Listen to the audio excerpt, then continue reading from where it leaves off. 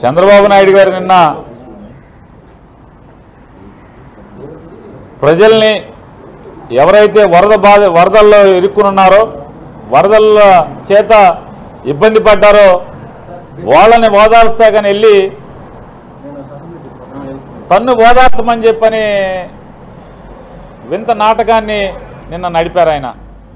సహజంగా వెళ్ళి మీకేం బాధలు ఉన్నాయి ఇక్కడ ఇబ్బందులు ఏంటి ప్రభుత్వం నుంచి సాయం అందుతుందా లేదా? ప్రభుత్వం స్పందిస్తుందా లేదా?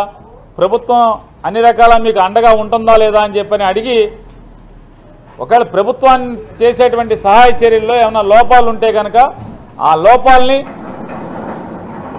ఎత్తి చూపితే ప్రభుత్వం సరి చేసుకుంటాకి అవకాశం ఉంటుంది. దాన్ని చేయాలి. కానీ ఆయన వెళ్ళి ఏదైతే అక్కడ వరదలో ఇరుక్కున్నటువంటి ఆ ప్రజల ఇబ్బందుల గురించి మాట్లాడకుండా మావిడిని తిట్టారు మావిడిని తిట్టారు నేను మీకోసం భరిస్తున్నాను నన్ను తిట్టారు. అరే మీ ఆవిడిని తీర్థం ఏంటి బాబు? అసలు మీ శ్రీమతి గారిని మేము తిట్టలేదు మొర్రో తిట్టలేదు మొర్రో బాబు మేము తిట్టలేదయ్యా. ఎందుకయ్యా అబద్ధాలని మేము పక్క మాట్లాడుతుంటే? అసెంబ్లీ అయిపోయింది పార్టీ ఆఫీస్ అయిపోయింది. ఇప్పుడు ఊరూరు ఆ వరదలు ఎవడ ఎవడు ఏదో అన్న సామెతగా ఉంటుంది. ఇల్లు గాలి ఒకటి ఏడుస్తుంటే అంట చుట్టకాల్చుకుంటా కూడా బయలుదేరాడంట. చంద్రబాబు నాయుడు గారు తంతు ఆ రకంగా ఉంది. ఓ పక్క ప్రజలేమో వరదల్లో ప్రకృతి వైపరీత్యాలతో ఇబ్బంది పడుతుంటే ఈయన వెళ్ళి మా ఆవిడని అన్నారు మా ఆవిడని తిట్టారు. మా మీ ఆవిడని తిడుతుందంటే బాబు మీ భార్య గారిని ఎవరిని తిట్టలేదా బాబు? మేము అనలేదు మొర్రు అని చెప్తున్నాం కదా. నిన్ను తిడతాం కానీ మా- మీ ఇంట్లో వాళ్ళని తిట్టాల్సిన కర్మ మాకేంటి? బాబు మా సంస్కారం ఉంది. మా ఇంట్లో కూడా ఆడవాళ్ళు ఉన్నారు. మాకు భార్యలు అక్కలు చెల్లెళ్ళు తల్లులు ఉన్నారు. మేము ఎందుకు మాట్లాడతామయ్యా? మేము మనుషులమే కదా. మీరంటే కొన్ని దయాదక్షిణలు లేకుండా మామంటే మామగారంటే మీకు జాలి దయ ఉండదు.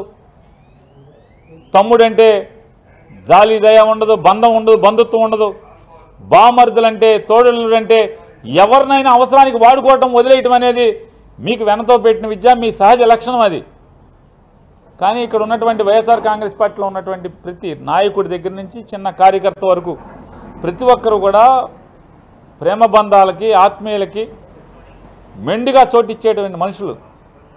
ఇవాళ కుటుంబ సభ్యుల గురించి మీ మీ- మీ భార్య గారి గురించి మేము మాట్లాడలేదయ్యా మీ శ్రీమతి గారి గురించి మాట్లాడలేదు మొర్రు అని ఎన్నిసార్లు చెప్పినా ఈయన ఊరూరు బలపం కట్టుకుని వాళ్ళ పక్క బాధల్లో ఉంటే వాళ్ళు ఇల్లు కొట్టుకుపోయి వాళ్ళ ఇంట్లో బురద ఉండి